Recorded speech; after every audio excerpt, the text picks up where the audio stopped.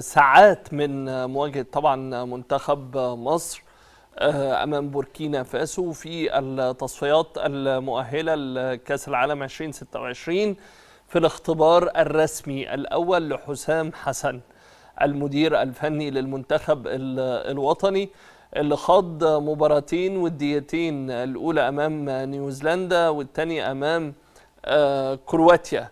واللي طبعا فاز في الأولى وخسر في المباراة الثانية. اللي تابعناها كلنا كانت في بطولة مصر الدولية اللي كانت مقامة في العاصمة الإدارية. حسام حسن من ساعة ما تولى المسؤولية إلى المعسكر الحالي دخل في عدة طبعا أزمات ومشاكل عاشها مع طبعا السوشيال ميديا ووسائل الاتصال الاجتماعي وأيضا جميع وسائل الإعلام مقروءة ومسموعه ومرئيه وبالتالي كان الأزمات متعلقة على رأسها بمحمد صلاح ثم أحمد فتوح وأخيرا عمر كمال عبد الواحد. وفي أول معسكر رسمي لحسام حسن ضم الثلاثي وأنهى على كافة المشاكل وأصبحت الأزمات والمشاكل ليست لها علاقة لا بالجهاز الفني للمنتخب بقيادة حسام حسن ولا باللاعبين.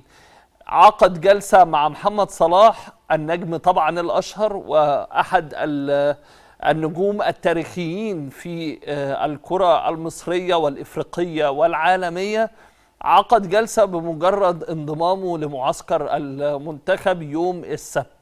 التزم محمد صلاح بالموعد اللي بلغ به المسؤولين في المنتخب الوطني وتواجد قبل الموعد الرسمي بيومين أو ب 48 ساعة حرصا من محمد صلاح على حل أي أزمة وضرب أي محاولات ل طبعا عدم التأهل إلى المونديال وبالتالي تواجد والتزم محمد صلاح في المعسكر ورحب به حسام حسن وإبراهيم حسن مدير المنتخب.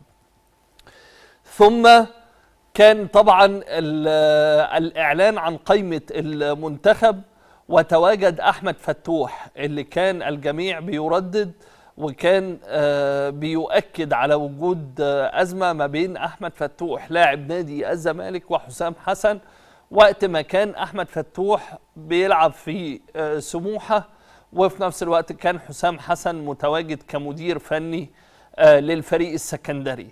لكن حسام حسن أعلن تواجد أحمد فتوح دون أن يكون هناك أي شروط أو أي جلسات وبالتالي ضم أحمد فتوح.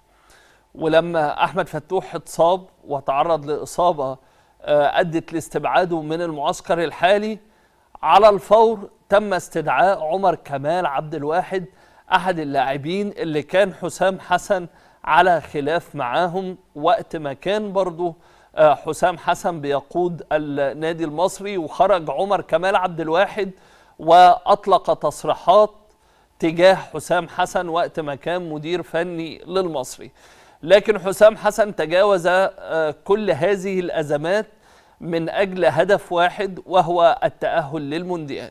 ولما تلاقي حسام حسن بيقول لك دوت قبل المعسكر الرسمي تقول لا ده هو بيقول أي كلام. ده هو بيقول تصريحات بس مجانية في البداية علشان كمان الانتقادات اللي واجهها من خلال تصريحاته أو بعد تصريحاته عقب توليه المسؤولية لكن لما تلاقي التصرفات تتناسب مع التصريحات هنا لابد إن أنت تعلن عن إن حسام حسن فعلا الكلام اللي قاله بينفذه اللي هو أنا هدفي مصلحة المنتخب الوطني.